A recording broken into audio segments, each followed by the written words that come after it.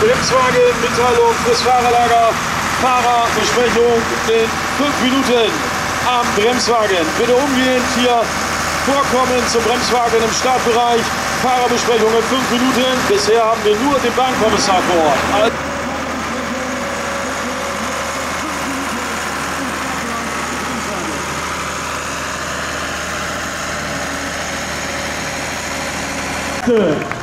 Schwerste und schönste Motorsport auf Rädern.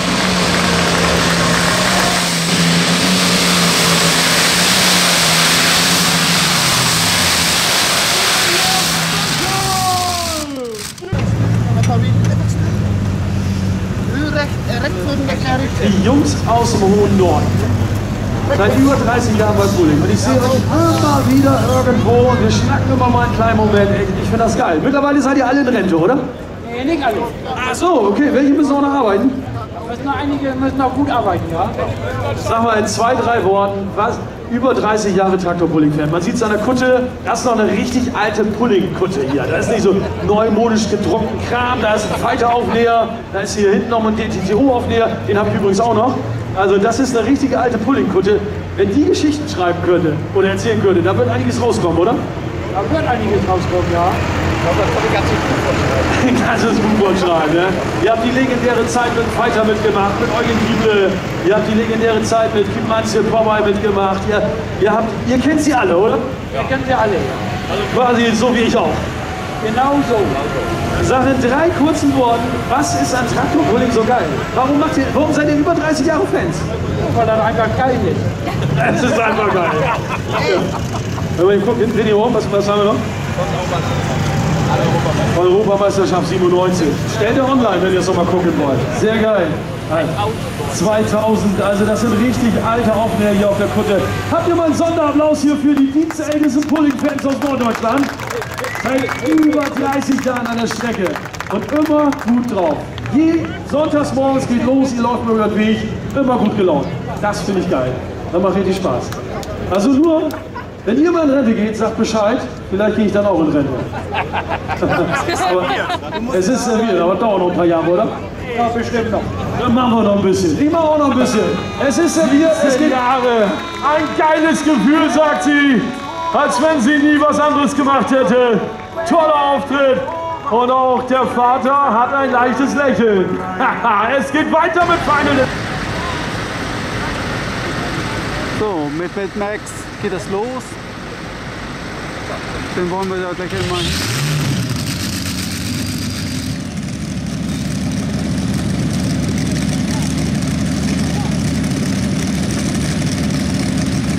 Ja, ein, zwei.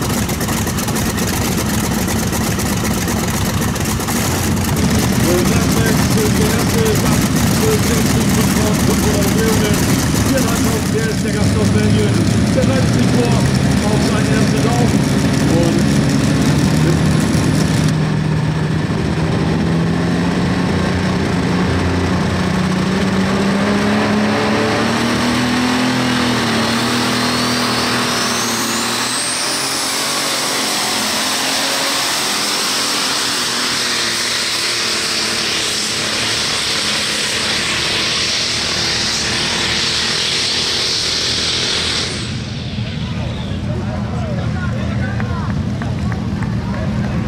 Da sagt, ein guter Pool von Mad Max, einer der stärkeren Traktoren in Europa dieser Klasse. Mit seinem DAF Diesel, umgebaut auf Methanol, ist er unterwegs. Und wir sind gespannt, ob die Einstellung so bleibt. Curtis White Sternmotor, 54,9 Liter Hubraum, machen sich bereit für den ersten Pull nach zwei Jahren. Komplett neuer Antriebsstrang, komplett neues Eigenbaugetriebe. Serge hat nochmal richtig in die Technikkiste gegriffen. Und wir sind gespannt, ob er ihn kontrollieren kann. Den roten Löwen aus Luxemburg.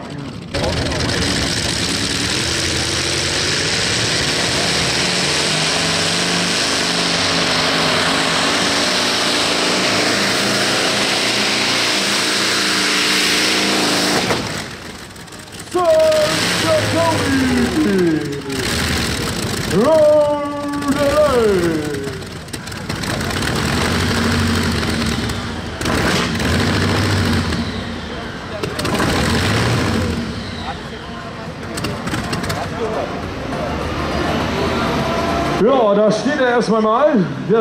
Bei der 70 Meter Marke hat es sanft angehen lassen hier mit dem Druck am Gashebel. Da war erstmal Testen angesagt äh, und wir sind erst einmal grundsätzlich zufrieden, denn es hat anderes malendes Geräusch hier. Die Hinterachse ist scheinbar doch Schrott. Also das Backfire kam äh, mit dem Riss der Hinterachse, wie vermutet. Die Schwachstelle im Schlepper hat sich doch herauskristallisiert. Wie wir es vorher schon angesagt haben, Hinterachse, Schrott beim Rodelift und damit das Aus für ihn hier nach äh, der 70 Meter Marke. Ja, der Young Special, habt ihr Lust auf Traktorpolin? Habt ihr Lust auf V12? Boah, jetzt schon, jetzt schon Gänsehaut, wenn ich die Rolls-Royce Motoren da hinten höre. Der Young Special zu Gast in Sonsbeck. 4000 PS in der 2,5 Tonnen Klasse. Wow. Ist das schön. Wir gehen mal zielstrebig zur Full-Pull-Marke. Die Flakfrau, die Svenja, steht hier schon bei der 130 Meter Marke. Also auch sie weiß, was auf uns zukommt. Wir können den Traktor, glaube ich, ganz gut einschätzen. Und bei der Bremswageneinstellung müsste es eigentlich ein...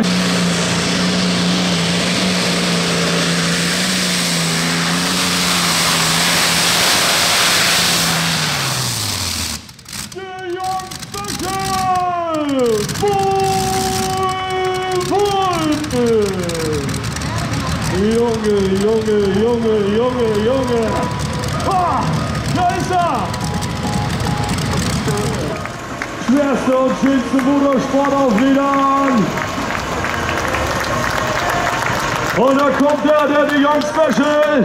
Ein wahnsinns Fullpull hat er uns gezeigt. Komm, uns uns back, Hände aus der Tasche. Wo ist der Applaus für die Young Special?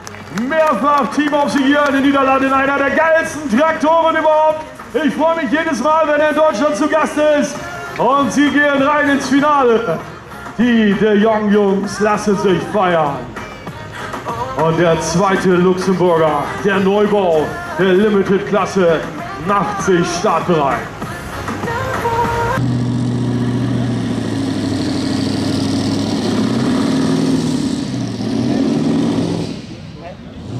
Ja, der Seber, aller Anfang ist schwer. Er funktioniert, er braucht, er baut Ladedruck auf, der Motor arbeitet, der Antriebsstrang ist okay, aber scheinbar doch zu wenig Gewicht auf der Hinterachse. Erneut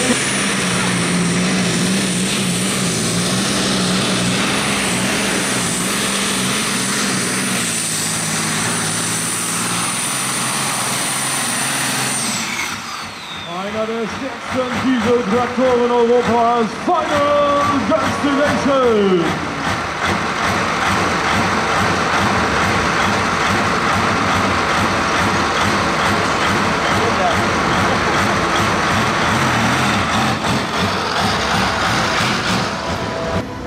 sich Pfeiler wie ein Auto, top unter Kontrolle in Final Destination. Und er ist abgestellt und er hört für diesen tollen Pull hier 89 Meter, 89 müsste es gewesen sein. Einen Riesenapplaus für den Funnel. Neue Lader aufgebaut, richtig Ventile eingebaut, die ganzen Zirkus. Jetzt ist er beim Testen in Krummbach kaputt gemacht. Und ich glaube, jetzt war das der Versuch, den ich machen durfte. Ich glaub, Also, die Tochter ist langsam dran. ne? Jetzt auch auf dem Weg nach hinten. Szenenapplaus für den Final Destination. Neue Lader, das Motor-Setup nochmal überarbeitet und er läuft gut. Du bist zufrieden, oder? Ich sehe so ein leichtes Lächeln bei dir. So haben wir es gewartet und Öldruck ist auch noch da. Ich glaube, der Motor ist heil. Sehr gut, so soll es sein. Final Destination, Szenenapplaus für den Teamchef. Er ist zufrieden, 89 Meter 89. Wir sind in der Testphase. Der neue Lader vorne soll getestet werden. Es äh, war erst gar nicht geplant, dass das alte Green Monster heute hier in äh, Sonsbeck mit dabei ist und schon gar nicht in der 2,5 Tonnen Klasse. Da haben wir ihn schon lange nicht mehr gesehen. Aber Sie nutzen die Gunst der Stunde. Oberer Motor abgebaut. Der vordere Motor befindet sich gerade in der Entwicklungsphase. Und sie nutzen das hier.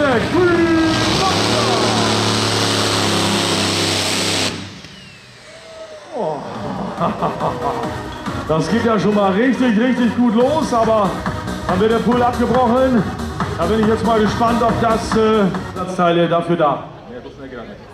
okay, das wäre natürlich schade. Ihr wolltet ein bisschen testen, ihr wolltet ein bisschen Daten sammeln. Und äh, da scheint es einen Bruch im Riementrieb vorne zu geben. Dementsprechend abrupt äh, Pool abgebrochen. Von, von Monster 4 noch umzubauen. Der, der soll eigentlich nachher sag mal, dieselbe Entwicklungsstufe wie die Motoren auf dem Mieters aktuell haben. Also aktuell eigentlich unsere höchste Entwicklungsstufe oder lauffähige Entwicklungsstufe, die soll dort aufgebaut werden. Das heißt, das gibt dann noch mal ein bisschen mehr Schub in der 3,5 Tonnen Klasse, um einfach auch auf dem europäischen Level mithalten zu können. Und äh, ja, ansonsten in der jetzigen Konfiguration mit dem Motor, der hat einen neuen Lader verpasst bekommen. Wir hatten jetzt diese Woche nochmal neue Nockenwellen eingebaut, äh, dass wir Vergleichswerte besser, besser vergleichen können, um wirklich zu sehen, ob der Lader effektiver ist. Der Lader soll in erster Linie ähm, weniger Antriebsleistung benötigen und äh, effizienter sein. Und da müssen wir einfach schauen. Das, das ist eine Entwicklungsarbeit. Das hat uns damals knapp ein Jahr gedauert, bis wir den ersten Lader auf der, auf der Spur hatten.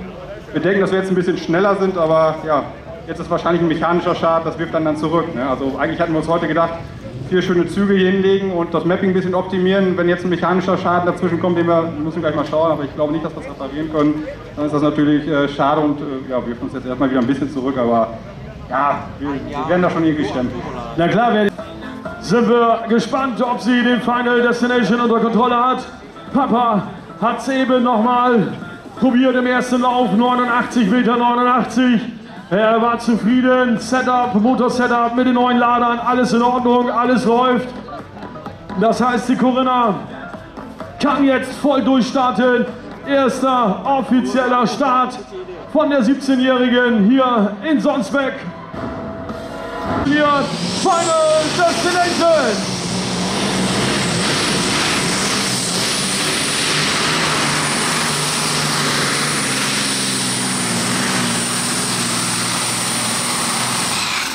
Junge, Junge, Junge, das gibt's doch gar nicht, als wenn sie nie was anderes gemacht hätte. Final Destination. Ein bisschen Wasser.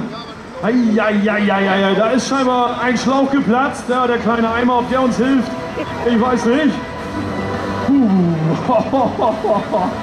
Er kocht aus allen Rohren der Final Destination. Kühlwasser, ein Schlauch ist abgeplatzt. Corinna, tiefenentspannt. Ey, als wenn du nie was anderes gemacht hast, oder? Ja, also das ist ein richtig geiles Gefühl. Liebes Publikum, habt ihr einen riesen Applaus für die Corinna? Ein breites Grinsen liegt auf ihren Lippen, als wenn sie nie was anderes gemacht hätte.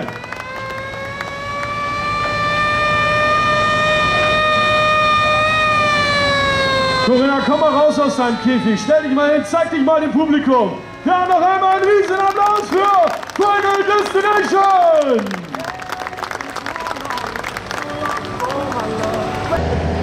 Wiener kommt 5 Tonnen Klasse. Mad Max macht sich startbereit.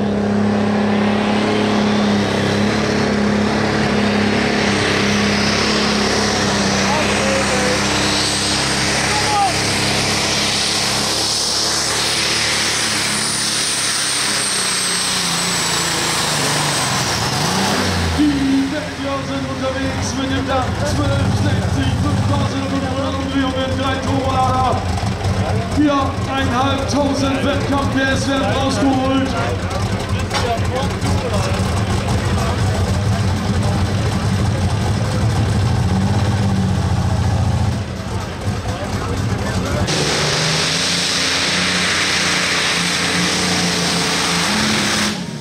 Oh, Das gibt's doch gar nicht. Der reißt ab. Der Leon Special geht runter. Unglaublich. Was ist hier heute los in Sonsbeck?